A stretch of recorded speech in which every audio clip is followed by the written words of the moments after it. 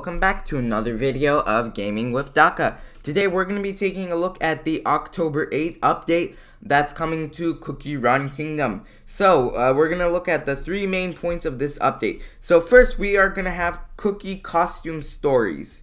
So five new Cookie Costume Stories will be added. Collect the costume sets and earn buff effects. Um, collect new costumes from a set to unlock additional buff effects. So we're gonna have some stories that we can get costumes, which leads us to the next point, cookie costumes. There's gonna be 47 new costumes that'll change the appearance of cookies. All you gotta do is clear stage 213, and you can get through the costume gacha using rainbow cubes. Um, so I'm guessing we'll now have some way to get rainbow cubes. There's also going to be a new treasure. It's an epic treasure called Seamstress Pin Cushion. The designer's aesthetic vision increases attack and summon duration for all summoned creatures. Um, and this is actually going to be very good because our new cookie actually creates a summoned creature. So our new cookie is Pumpkin Pie Cookie. So, um, Epic Pumpkin Pie Cookie. Pumpkin Pie Cookie is a magic cookie that uses the skill Pompon, help!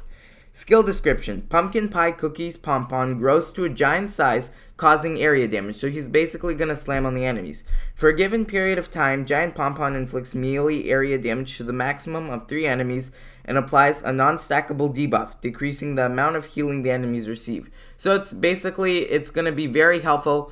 Um, I mean, I, I try battling some people in arena and I'm win I'm winning, I'm beating them, and then they heal up. So this could be very helpful and he's to give an attack speed for all allied summon creatures, um, which means if you use him with Licorice, that could be good. Uh, he's to be resistant to interrupting effects while performing the first special attack. Also, Pumpkin Pie Cookie can use her decreased first cooldown to use the skill sooner. So basically, in a battle, the first time she uses the skill, it's going to have a decreased cooldown. She's also resistant. A Pompon is resistant to certain interrupting effects. Um, He's in in he's resistant to taunt, stun, shackle, silence, charm, or skill interruption. Um, so this could be very interesting. And uh, based on the video, if you watch it, you can see that Pompon jumps to the front. So if he does jump to the front, he could act like a second tank. So this seems like a very interesting cookie, and I'm excited to learn more about it. But for now, thank you for watching. Have a nice day, and Gaming with Daka out.